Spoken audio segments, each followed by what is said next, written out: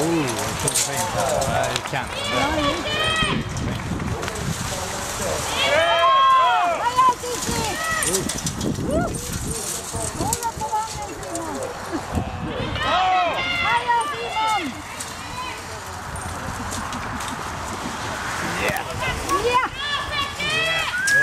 Heja